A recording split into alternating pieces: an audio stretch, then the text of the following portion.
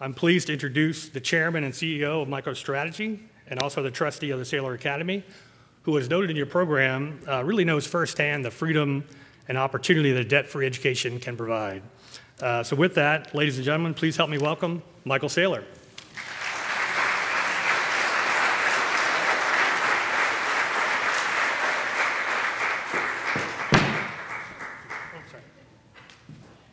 Thank you, Jeff. It's a delight to see you all this morning. Maybe this afternoon. No, still this morning for 60 seconds. Made it just in time. Um, Jeff asked me to, uh, to share a few thoughts on the credentialing economy and especially developments in, in industry and the way employers are thinking about uh, credentials and recruiting and, uh, and jobs and the types of, uh, of jobs that are being formed in the modern economy right now. Um, my, uh, my day job is I run MicroStrategy, which is an enterprise software company. And we have about 5,000 enterprise customers all around the world. So last year I circled the world about six times. And I, you know, I was in Tokyo and I was in Beijing and Hangzhou, and I was in Paris and London and Chicago and New York and San Francisco. And everywhere I go, I meet with um, about a dozen large enterprises. So companies like there might be Facebook or Amazon or Citigroup or Emirates Airlines or Toyota. Uh, they make cars, they're media companies, they're governments.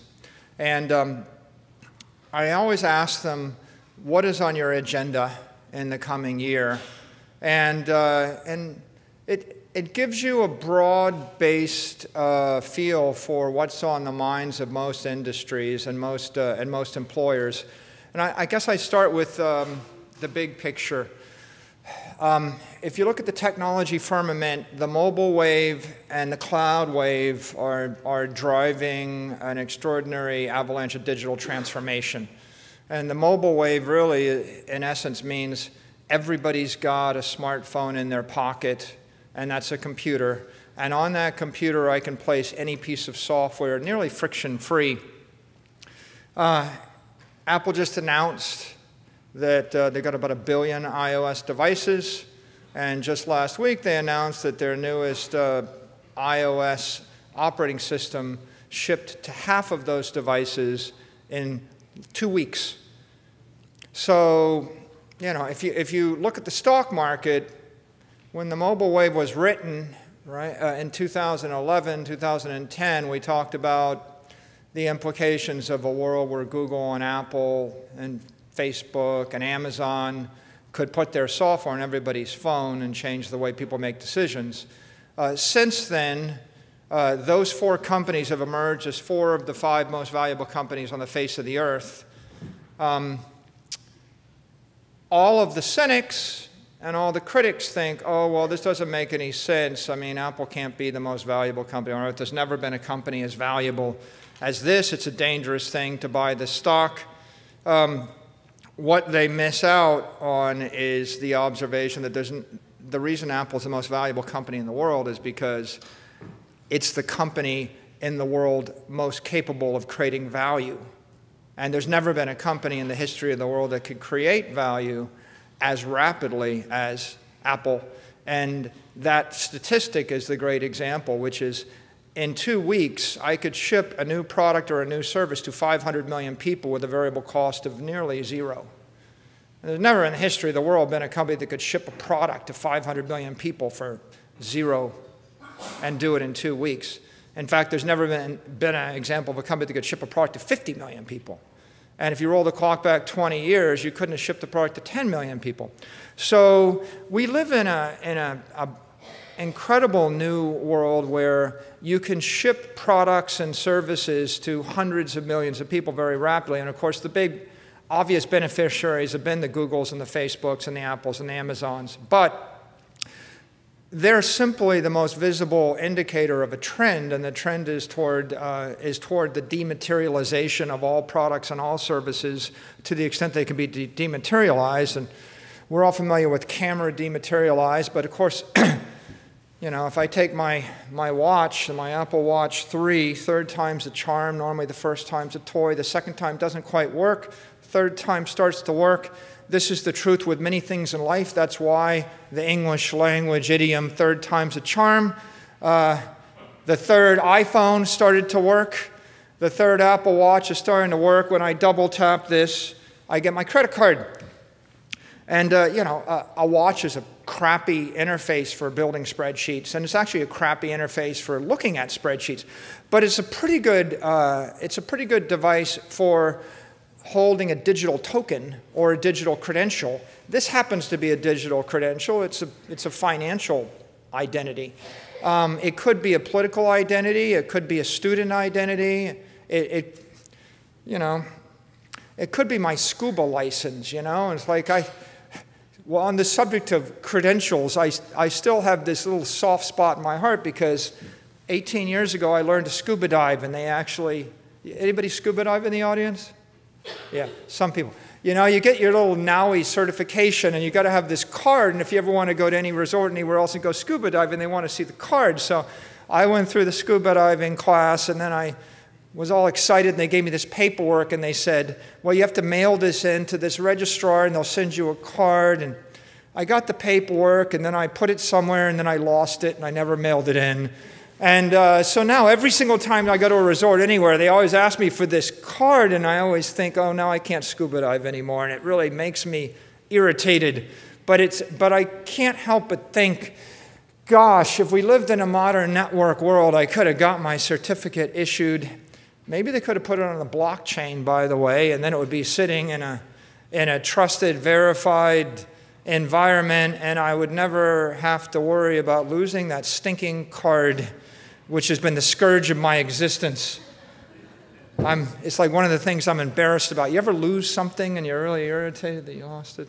Well, so I lost that one thing and it, I carry it with me. But um, back to this issue, right? So I got a wearable device, it's got a credential on it, I can use it to buy a coffee.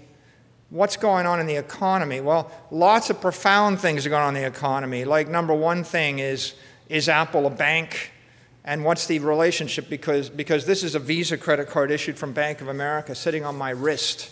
But it turns out that there's company that can actually rewrite the way that credit card works and ship it to 500 million people and do it over the weekend. And that's a pretty profound thing. Now, a lot of people have noticed that, and that's driving the digital transformation wave. So every enterprise on earth is thinking, what's your digital strategy? um, media companies need a digital strategy. Uh, you know, and, and uh, we see it, for example, and it's there are good aspects of it and bad aspects of it. Like, like for example, when you look at your news feed, yeah, the, the other, when I look at my news feed, Facebook or Twitter, or whatever, they try to figure out what I'm going to react to, and they actually spoon feed me based on my biases. And uh, it's a really great monetization strategy. They make a lot of money. But I actually find myself now enjoying looking at a physical newspaper because the newspaper doesn't know what I want to read, and I might discover something and an unbiased some like i see stuff in the newspaper that never comes to me via facebook or Instagram or Twitter because it doesn't know who I am. And so, this idea of edit, edited content or, uh, or a, a, flat, unbiased news feed, you know, is, a, is an old idea made new again, right? It might be regulated back into the digital marketplace. I am, you know, I can't help but think, though, that uh, this is having a, a, big impact on a lot of people. I, I meet with healthcare companies. In healthcare, they're thinking about uh, how do I implement predictive algorithms to figure out who to let out of the hospital and who's going to recover and what the treatment ought to be. Uh, in the area of insurance, it's also, it's also a lot of intelligence. Uh, in the area of banking, in the area of, of uh, retail, in the area of manufacturing, uh, there's a demand for two skill sets that are exploding. Uh, one, computer science. Uh, and we want developers. We want to hire, you know, everybody's hiring a host of developers. Uh, how do I uh, put a thousand developers into my insurance company and have them all start to build custom applications to react to regulatory requirements or to seize market opportunity or to put uh, um, a mobile app into the hands of my consumers?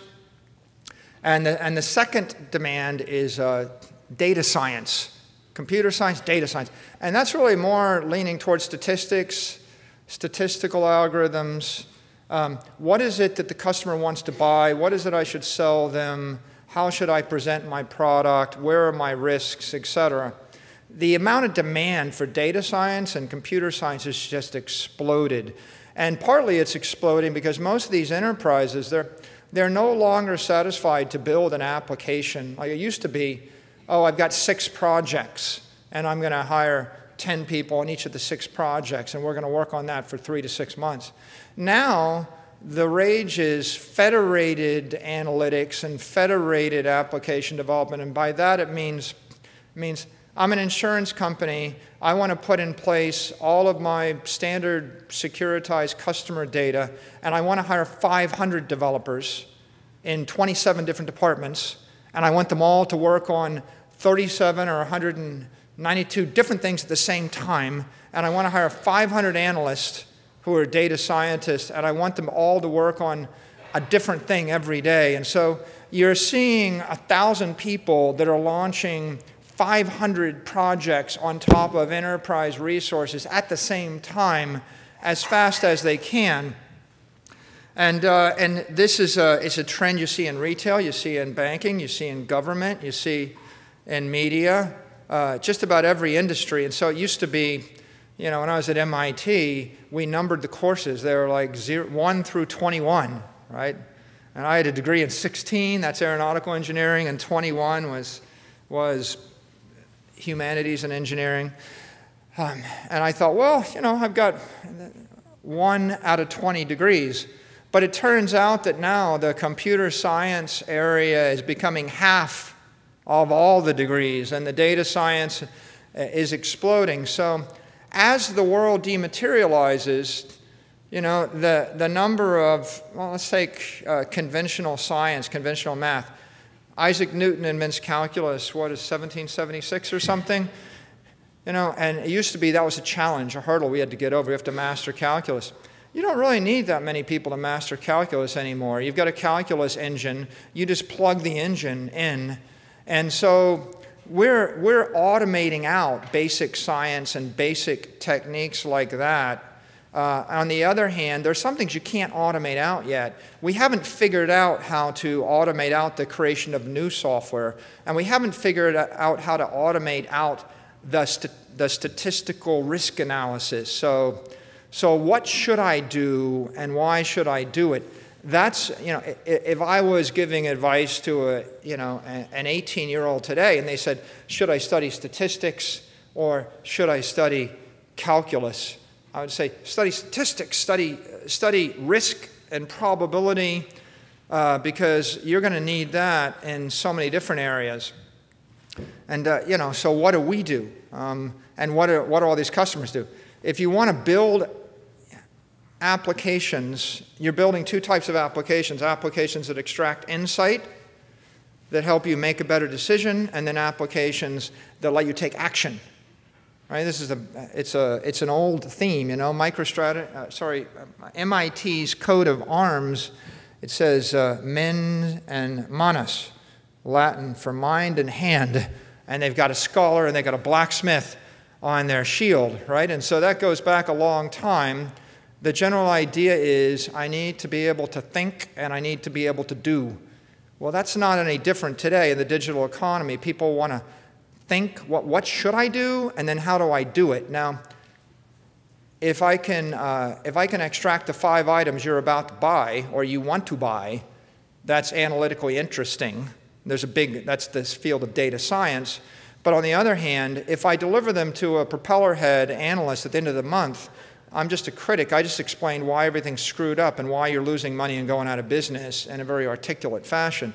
I need to put the five things you want to buy in the palm of your hand when you're about to buy the sixth thing in order to monetize one of the first five things, right? Amazon does that well. Facebook does that well. Google, you could argue they do it too well. If you take uh, YouTube, you know, if you, if you decide you want to study videos on, on um, how to do weightlifting while intermittent fasting, you know, and sleeping four hours a night, YouTube will serve you up 1,900 of these videos, right? It's like, and you would think the world consists of, you know, intermittent fasters that are weightlifters that have opinions about whatever ketogenic diets, and that's all you'll get. I, you know, I, I started watching chess matches online, and YouTube serves me up every chess match in the history of the world with a running commentary, each one 20 minutes long, I could sit and spend the next 2,000 hours watching chess commentary on YouTube. Right? We've, uh, we live in a world of plenty, and, uh, and there's too much of everything. Right? Netflix is ge generating infinite million hours of video. Uh, we've got, you know, I, sometimes I row on a rowing machine, right? And you ever row on, a, on an erg machine and it tells you how many watts you're actually rowing. And if you can get to 200 watts, you're quite the athlete. And that means if you do it for an hour, that's 200 kilowatt hour or 200 watt hours. That means if you did it for a day, that's a kilowatt. So if anybody in the room sat and generated all the energy they could in a day, that's a kilowatt. A kilowatt's 12 cents. You know, and there are people, 12 cents the value of all your energy is, is a penny an hour, maybe. And by the way, there are people talking about solar energy that's going to drive that to a couple of cents. You know, and so 100,000 years ago, right, we didn't have enough energy, right? You spent your entire day running around today. If you're the Fryolator boy in a McDonald's, you have $9 an hour, which means you have more energy at your disposal than Augustus Caesar, right? The most powerful person on the earth 2,000 years ago.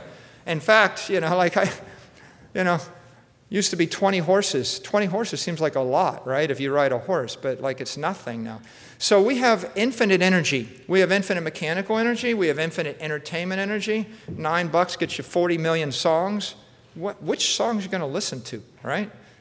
$9 gets you a million hours of Netflix. Zero dollars gets you a million hours of YouTube. You know, the, there's a guy in Croatia, and he basically sits on his computer and he uh, creates commentary of chess games for a living, and he has a, a chess channel, and he's got I don't know, every time he posts, he gets like 75,000 people watching his television show. He makes a living giving a commentary of chess games, right? Like it's an explosion in stuff. Now, um, what, is that, what does that mean for a business? Well, uh, when we hire people, uh, we want people that can code or, or create content. That's one thing. Uh, the second thing we want is we want people that can uh, QA it or test it. So we want people that know how to break it. And it takes a lot of creativity to break things. Uh, the third thing is we want uh, people that can market it. Marketing is like, it's a you know, amazing thing. You know, when I grew up, if someone called you sugar, that was a compliment. And if someone called you fat, that was uh, an insult. And it turns out today, in the world of modern organic nutrition, we now understand that sugar is not really good for you, it's toxic. And fat is actually pretty healthy for you. And so marketers at some point figured out how to make a good thing bad and a bad thing good. And uh, they're still doing it today, right? In fact, uh, it's more important than ever to be able to market things. So, how do you communicate uh, to people? Uh, every single company on the face of the earth struggles with this issue because there are so many choices right? I mean, all these people are creating this content. It's like, now how am I going to market it to you? How do I? And by the way, marketing, when I'm marketing to a, a, a consumer, right, is traditional marketing. But then you get to the next challenge, which is, um, which is uh, regulatory compliance. Um, how do you convince the governments to support this thing? So the politics of it. And politics are becoming more important everywhere. Uh, regulatory drivers, right? Well, for example, it's, uh, it's as of two weeks ago, it's legal to gamble Four weeks ago, it wasn't legal to gamble except in certain places, right? The Supreme Court just made a pretty momentous decision. Um, it's going to change, you know, the lives of, of, if not hundreds of thousands, millions of people. And we're going to see probably these programs where you can sit and watch a hockey game and you can bet on whether the power play is going to score or not score on your iPhone, right, depending on what state you're in and how it works. Um, politics is pretty critical, right? For example, um, let's take Uber. Uber's a good idea, and, and people think, uh, they'll say, well, that was a good idea. I wish I had that idea. Well, the truth of the matter is, lots of people had that idea, right? Actually, having the idea was the easiest thing. Other people think, well, the secret to Uber is they could create the software. Well, not really. Creating the software wasn't the challenge either. Lots of people created software that worked. What makes Uber Uber? Well, they were able to raise $25 billion. Okay, that actually is pretty interesting. How do you actually convince or persuade people to give you money? Right? The world is awash in money. There's, there's so much capital out there. I think there's uh, you know, hundreds and hundreds of billions of dollars looking for any idea. So, one of the challenges how do you persuade someone to give you the money? After that, then Uber's big because they decided they would spend it all, right? And, and that's interesting, of just raw aggression. If you're willing to actually spend $20 billion and then waste another billion dollars every 12 weeks, that's interesting. Yeah, because they're basically still giving away a billion dollars of subsidies every quarter. Well, it's interesting because number one, someone made a decision, they'll just go ahead and spend a billion more than they're, they're making. And number two, they, um, they made the decision that they'll be able to raise more money, and they seem to be doing fine, right? Uh, the world's being changed by people making those risks. Now, the last piece that's interesting is that Uber happens to be breaking the law in half the jurisdictions they do business in, right? And that, that's very curious and getting away with it. Okay, now you know, once upon a time we had online poker, and you know, and that was kind of illegal, and, and, and it was interesting and popular until the Fed started dragging the executives running these websites off of their planes at Dulles Airport and jailing them. And so, is Uber is Uber going to continue or not continue? And uh, the district attorney of New York could change the you know the the trajectory of that entire business in a heartbeat, or maybe, you know, in Miami, it happens to be illegal some places. There's 18 different municipalities in Miami, 18 different mayors, 18 different police forces. There are not hundreds, but thousands, if not tens of thousands, of interesting municipalities. So when you think about marketing, we're not just marketing to convince you to trust our Uber application and get in our car. We're marketing to persuade tens of thousands or hundreds of thousands of powerful actors to allow us to make that service available. Right? Airbnb's in the same boat, by the way. It's illegal to rent an apartment in Miami Beach, and yet Airbnb has got a thriving business renting apartments, right? Now, politically, like, how do I feel about that? Well, I'm not sure how I feel about it, but what I'm sure of is if you're in business today, you have to be able to persuade people of your point of view. And sometimes it's persuade consumers. Sometimes it's persuade people to drive for you. Sometimes it's persuade regulators not to jail you. Sometimes, you know, like a classic example, right, is uh, when I was in uh, when I was in college, we didn't have uh, we didn't have access to so much medicine and there was no such thing as Adderall. Okay, and so interestingly enough, you know, I went to MIT and I had uh, I had stress. Right, it's it's difficult getting through college with people that seem to be smarter than you, that are better prepared than you.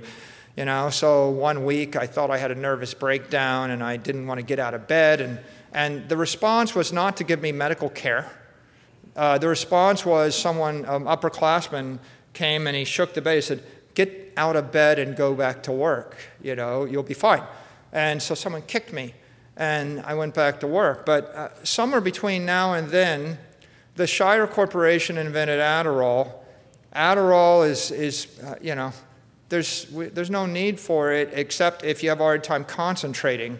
By the way, I still have a hard time concentrating. okay? like, I don't, you know, like, how many people in the world have a hard time concentrating? That's like the human condition. So we invent a disease, you know, called the attention deficit.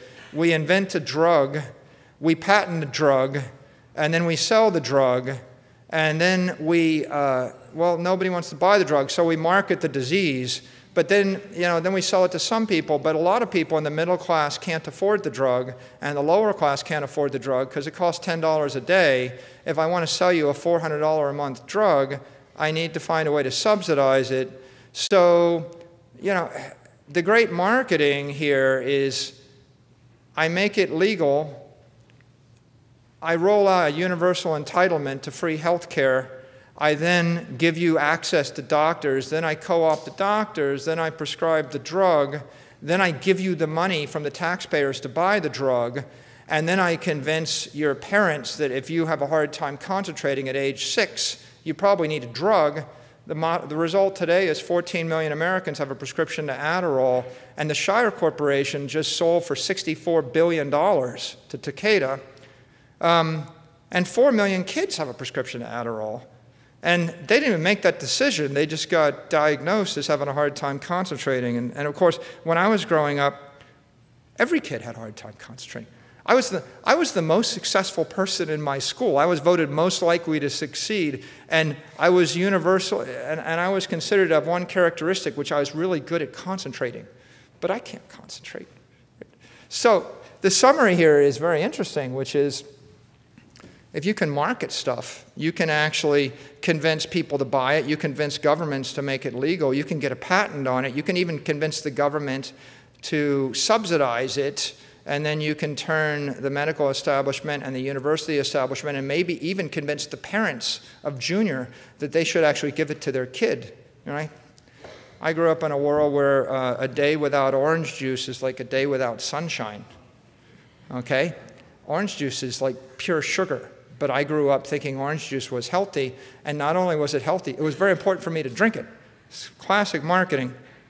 So, um, you know, there's a lot of interesting political uh, implications of that. But here's the most important thing from a credentialing point of view.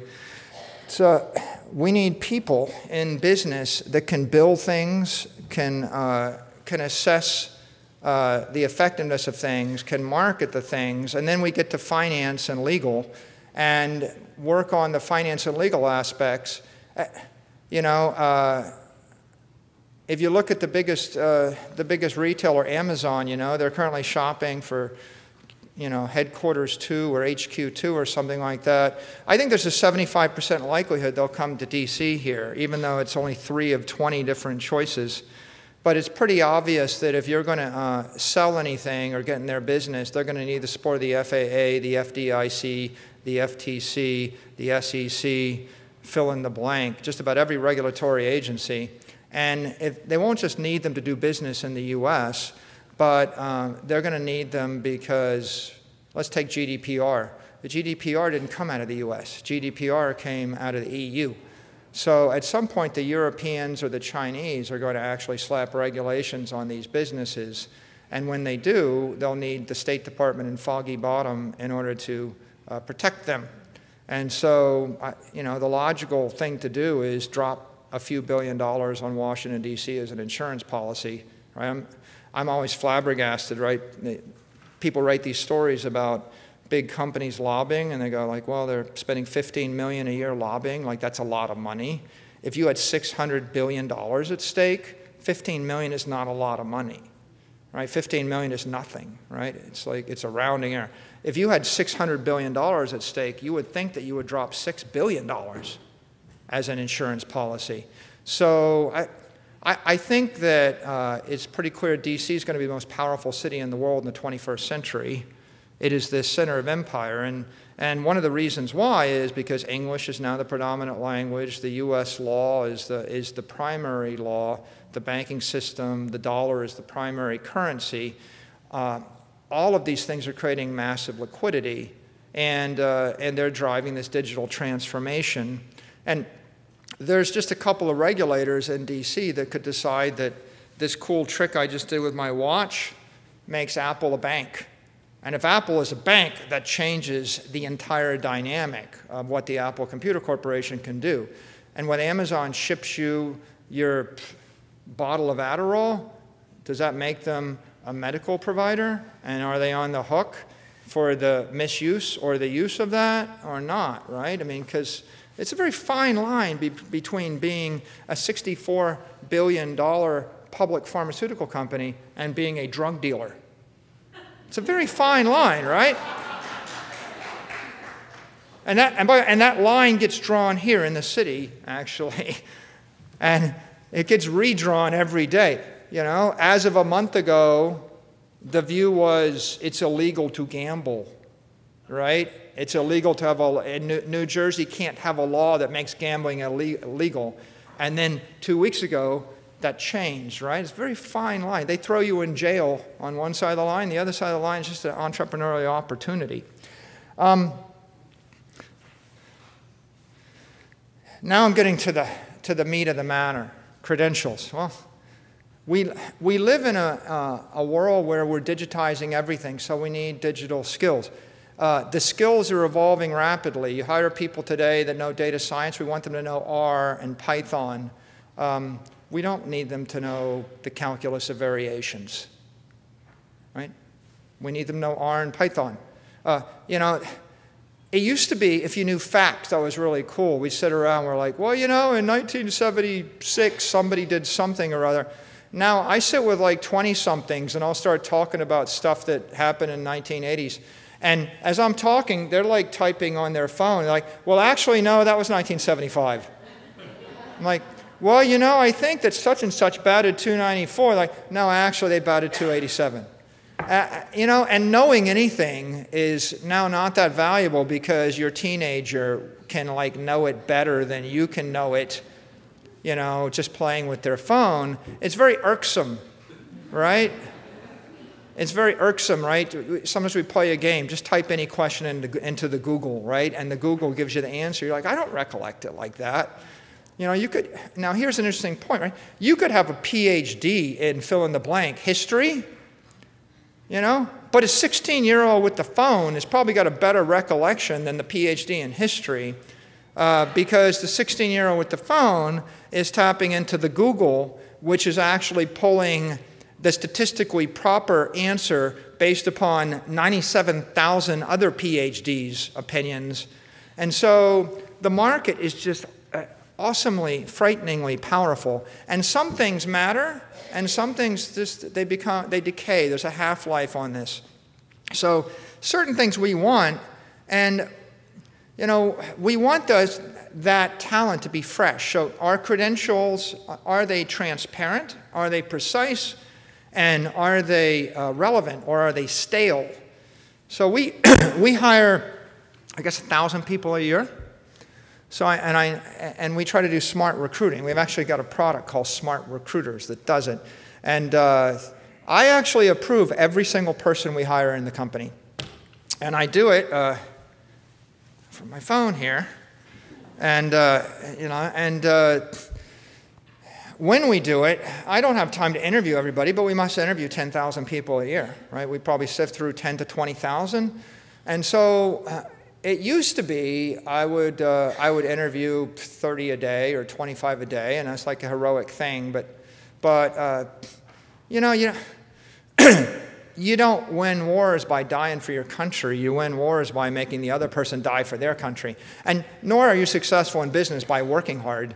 You're successful in business by making other people work hard for you or making systems work hard for you. So uh, that heroic idea of working really hard got replaced with a new idea, which is we actually apply uh, diagnostics. We call them A, B, C, D, E. Uh, we give people an analytics diagnostic, an A rating, and we score them from 0 to 100. And it's like the math version of the SAT. And then we uh, give them a B rating, which is business diagnostic. and um, we score that from 0 to 100. Um, and, uh, you know, the, the business diagnostic is, you know, do you understand how to get along with other educated adults and persuade them of something? right? And so we're testing to see whether or not you can sell anything or whether or not you can uh, persuade someone of something. Then we have a C diagnostic, it's coding, and we check to see if you can write code. And uh, obviously, not everyone needs to write code, but if you do need to write code, we give you the diagnostic. And then we have a D diagnostic, it's design. And uh, in our case, we check to see whether you know how to actually create a software design that displays information in a clear fashion. You know, there's a way uh, to put information in front of someone that's uh, very elegant, concise, succinct, transparent. And there's another way to put information in front of people that's jumbled, confusing, noisy, ambiguous. And uh, we want to see whether or not you tend toward the better or the worse way. And uh, the E, the E diagnostic is English. Okay? Can you actually master the English language? Now, there's a, we don't have a, a, a universal set of credentials that we can go to uh, from third parties that we can tap into, but there's nothing particularly unique about these five diagnostics, and I would say uh, just about anybody in the digital economy trying to find people that could, uh, that could create any kind of uh, application would want to do the same thing. So I would guess that whereas we interview 10,000 people a year, probably this is relevant to 100 million to a billion interviews a year. Um, we do it ourselves uh, because it's better than not doing it, and it takes like half an hour per diagnostic. So if you would put 10,000 people through it, it's 10,000 times two and a half or 25,000 hours of testing. Now, the result is uh, we get complete uh, liquid transparency. So when someone wants to hire someone, we want to hire a such and such in Shanghai or a software engineer in Warsaw, I'll glance at my phone and I'll look at everybody's got a resume and they've all got something, right? Everybody writes something and now you can't really be sure of the something. There's 10,000 institutions. I don't know any of these institutions. And certainly I can't form an opinion. I just look at the diagnostics and in one second I can, I can uh, take the measure of how well they'll fit now, it's not 100% perfect, it's like, it's a, but it's an 80% match. I can get to an 80% conclusion in one second. And yesterday I rejected some, uh, one person I never met my entire life. Bang, like, and I rejected it from six levels up because they were uh, fairly average or mediocre in their analytical skills. And I thought, if, there's no point in us hiring an entry level consultant that was mediocre in that, in that uh, world, um, might as well move on to the next one. Because, and, and why? Well, I can see the stream of the 100 people we previously hired from the same jurisdiction, and they're all maxing out, right? In fact, I can, I can uh, see uh, exactly what they're going to be able to do and how fast they're going to be able to do it, and, and it helps us to figure out what kind of roles to put them in. Um, I, I can't help but think that uh, we're on a cusp of uh, an explosion in, uh, in credentialing because at the point that you actually create a public credential, there's nothing secret here, right? Like public coding, uh, you know, public data science. Pu- By the way, A, B, C, D, E is the basic. You know, we've also got an F and a G. You know what F is? French. Because if you're in France trying to sell the French, you need to speak French. but I'll tell you another secret. If you speak English, someone that lives in Paris that chatters to you in French sounds like they speak French well. But that doesn't mean they speak French well, right? You can't tell the difference between someone that's nearly illiterate in French, in French versus someone that's actually extremely erudite in French. So we evaluate people in French and German and, and Mandarin, you know, in the major languages, and Portuguese and Italian. Now, here's an interesting idea. Wouldn't you think that the Italian government has a vested interest in being able to certify that you speak Italian?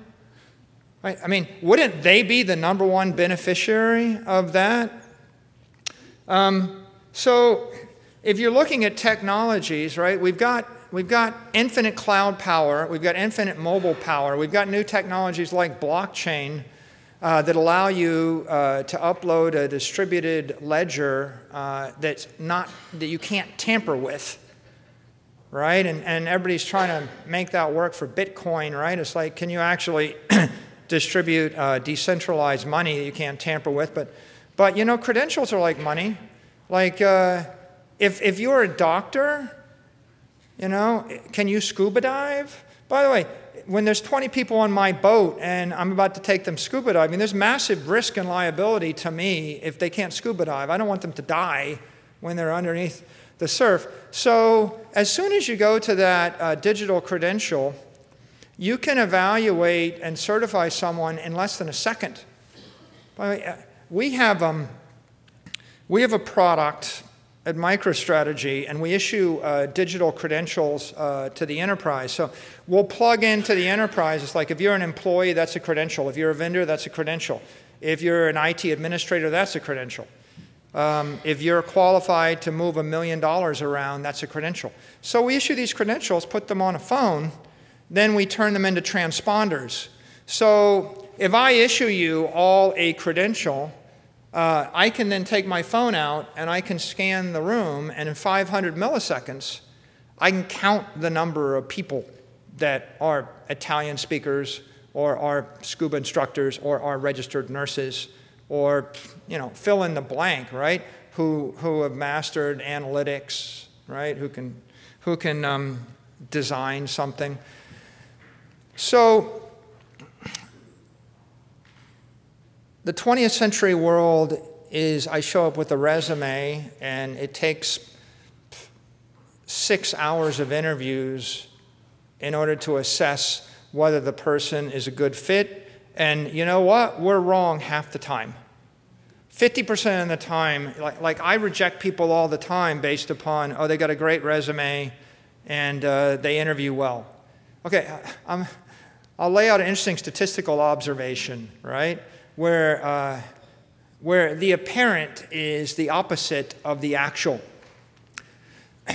If I'm not good at my job, for example, if I was incapable of uh, building software, but I went to a good school and I interview well, I'm actually more likely to be looking for a job all the time. so it's an example where, where the person standing in front of you that interviews well, of course they interview well because they interview a lot. And they have a good, right? And they, and they have a good resume because they had to dust it off because their resume goes with the interview. And, um, you know, and then people come and they're like, well, we need to hire this person because, you know, they're like this cloud expert out of Amazon. And then I look at the assessment, I'm like, well, it looks like they're enumerate, like they, they haven't mastered English and they can't add. And so they don't seem that bright. They're like, oh, yeah, but you know, they had this experience at IBM and Amazon. I'm like, well, show me the resume. Well, you know, they got there for a year and they got pushed out, and they got there for a year and they got pushed out. The reason they have that great experience is because every other institution pushed them out because after they got in, they couldn't do the job. And so the interview is not a good uh, representation of what you can do. I mean, everybody's biased, and uh, the resume doesn't really help that much either. And, and here's the other thing, right? Like uh, the institution doesn't help that much because this is like cl classic real estate problem. You know, um, if I have a good house and it's priced fairly, it will sell in five days. If I have a crappy house that's priced fairly, it will stay on the market for three years. And if I have a good house that's priced at double the fair price, it will stay on the market for a long time. So if you look at a thousand listings, ask the question how many listings statistically are actually a good house at a fair price? You know, the non statistician thinks, oh, I looked at five houses and I picked the best of the five and I made a good decision. Well, actually, but the statistician says, well, statistically, no more than five out of 1,000 listings are actually a good house at a reasonable price because a crappy product at a bad price is going to sit on the market 100 times longer. And so the statistical weighting of bad product in front of your face is going to be 99% garbage and 1% good. Uh, and yet, a non statistician tends to think, hey, I found the best 1%. Well, the best 1% means that you actually found just something, right? So, having, that's why statistics is so important. And that's why credentials are so important. When you, when you um, get to uh, true liquidity and credentials, and I, what we're doing is, is not the most efficient thing, right? We're wasting thousands and thousands of hours testing people. When you get to um, true liquid, liquid, credentials, you get to uh, a network effect. And uh, instead of taking six hours to make a decision, by the way, it's, it's six hours, and if, if I live in DC and I'm trying to hire someone in Warsaw, you're talking about spending $5,000 to $10,000 in order to make a decision that takes about six weeks that's only 50% accurate.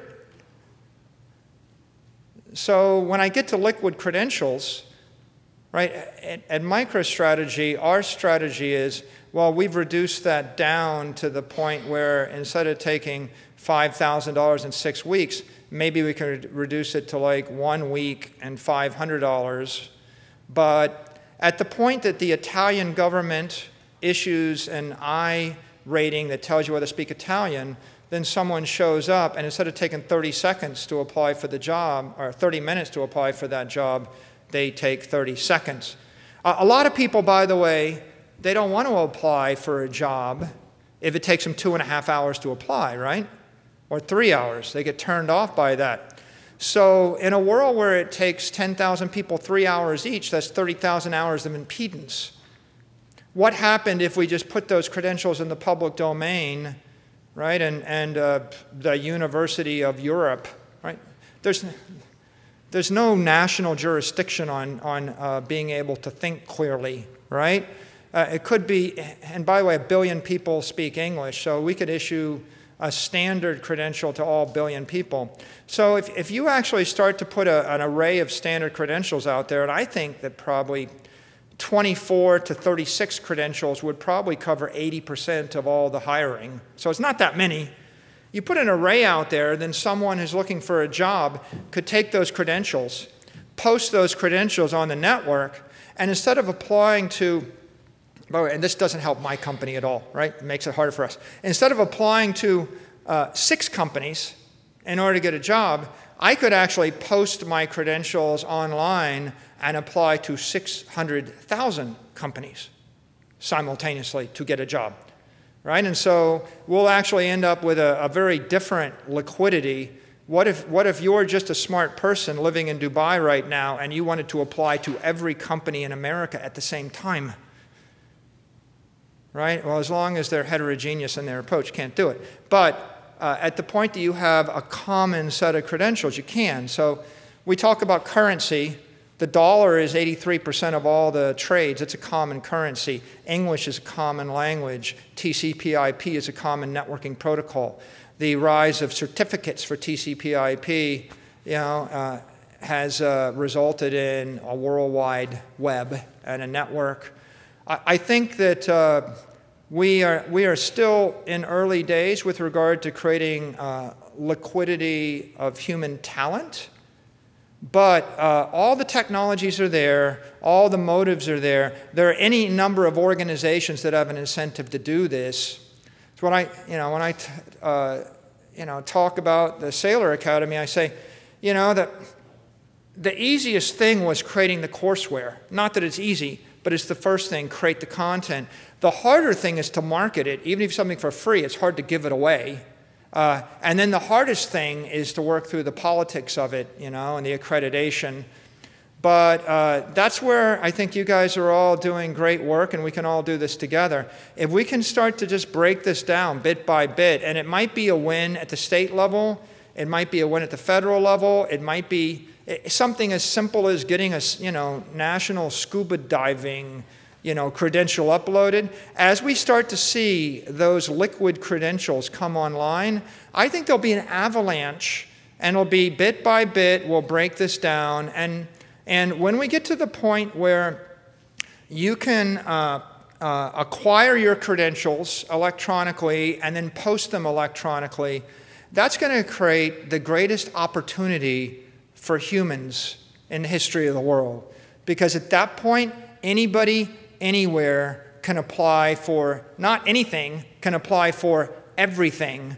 And you're going to have, you know, f- for me, I'll take my little company. I would hire 1,000 people in the next 48 hours all around the world if they can hit our credential requirements, right? We have, we have that much demand. Companies like Google, Facebook, the rest, they hire 100,000 instantly if they can find the right people. They might hire a million people instantly. So there's a massive opportunity to, to spread jobs, spread wealth, uh, spread prosperity if we can break down the barriers and the impedance and the restraints uh, to that progress. And I think uh, we're all working together to do that here today. And so I, I want to thank everybody in the room that's actually made investments in credentials and is working on either the technology or the marketing or the politics or the legal aspects of them because they're all important. And uh, hopefully we can do good things together in the coming year.